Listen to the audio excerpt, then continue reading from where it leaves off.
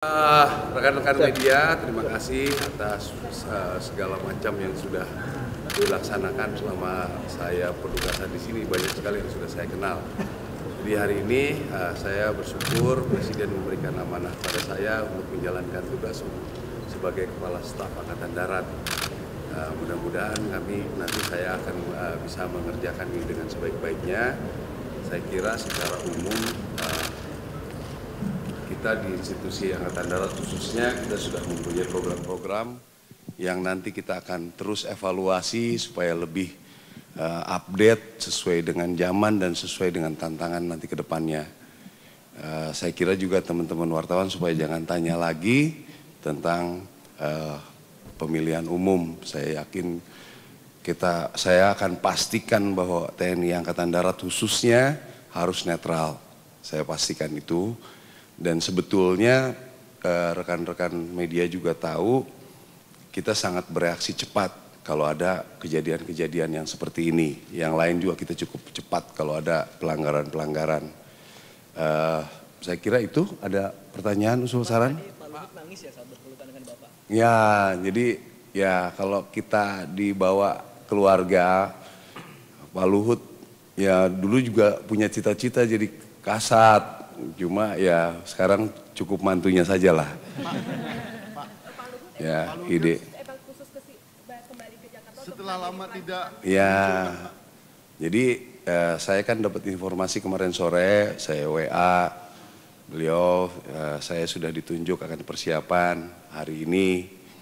Ya, beliau antusias lagi untuk mau hadir gitu, ceritanya segitu. Setelah ini akan langsung kembali ke Singapura untuk mau. Uh, mungkin kita acara di rumah malam, terus besok beliau kembali lagi. Ada pesan dari Pak Luhut? Pesan dari Ada pesan dari. Ya, seperti biasa kalau Pak Luhut sudah mulai sembuh, pasti langsung perintah dan pekerjaan supaya Angkatan Darat bisa di ya, bisa lebih baik lah kalau sebenarnya apa ya? Arahan dari Pak Presiden, arahan dari Presiden. Ya sama sebetulnya eh, uh, Presiden juga menekankan tadi yang tadi saya sampaikan bahwa Angkatan Darat itu sebetulnya kan secara survei sudah baik. Itu kalau bisa ditingkatkan ya lebih baik. Dan juga mengenai netralitas itu yang beliau sangat tekankan. Saya pikir juga uh, saya pribadi tidak akan menggamblingkan nama institusi Angkatan Darat yang sudah baik untuk hal seperti ini ya. Saya tidak mau nanti ini akan menjadi sejarah yang panjang bahwa kami di TNI Angkatan Darat khususnya tidak netral dalam uh, pemilihan umum gitu. Pak, berarti bakal ada sanksi tegas apabila ada prajurit TNI AD yang nakal mungkin di pemilu Itu itu sudah pasti ya. Uh, karena zaman sekarang itu kan mencari bukti itu tidak sulit. Banyak orang misalnya tiba-tiba sudah ada rekaman video, sudah ada ini ya. Jadi sangat mudah sebenarnya kan. Saya pikir Angkatan Darat khususnya itu akan cepat merespon hal-hal seperti ini. Ya. Uh, kalau sudah ada bukti ya kita pasti ada tindakan gitu. Pak kalau dari untuk program kerja kasat sendiri di internal uh, TNI Angkatan Daratnya menyoal operasi mungkin atau apa dari Pak uh, Jenderal ada Ya, ya banyak hal ya. Kebetulan uh, mungkin rekan-rekan media dengar beberapa hari yang lalu juga anggota saya ada yang gugur juga. Jadi uh, sebenarnya saya sedang banyak menegokan, kebetulan tadi juga sempat uh, bicara-bicara dengan Bapak Presiden bahwa pekerjaan untuk khususnya di Papua itu itu bukan pekerjaan TNI Angkatan Darat saja atau TNI pada umumnya. Itu semua stakeholder harus bisa bekerja bersama di sana. Ya, jadi sebetulnya di dunia ini yang sudah membuat uh, pembelajaran tentang lawan gerilya itu kita Indonesia termasuk hebat. Ya, tapi hal-hal tersebut mungkin sedikit terlupakan dengan perkembangan zaman dan lain sebagainya. Intinya dari perang gerilya adalah merebut hati rakyat. Jadi ini yang memang harus kita tingkatkan terus untuk yang khususnya di Papua. Internal kita di Angkatan Darat, saya pikir kualitas-kualitas personil itu mudah-mudahan ke depan kita punya banyak peluang untuk sekolah-sekolah di luar dan juga latihan-latihan kita akan evaluasi kira-kira seperti itu.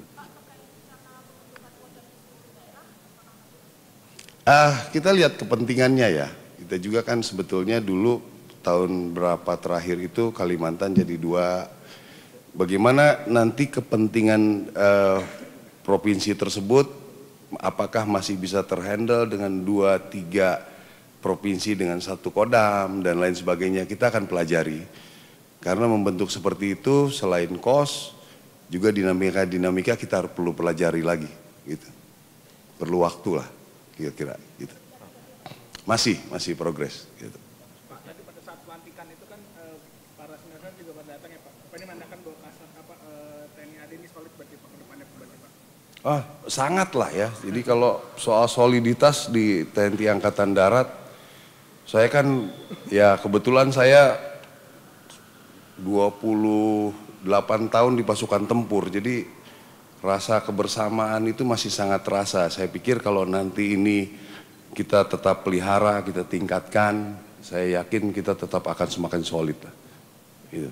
Pak, ada strategi soliditas dan sinergi bersama dengan Polri Pak nanti untuk penanganan eh, pemilu supaya kondusif, supaya nanti distribusi logistik semua bagaimana sinerginya bersama? Ya, sebetulnya yang mengkoordinir untuk eh, operasional ini Panglima TNI.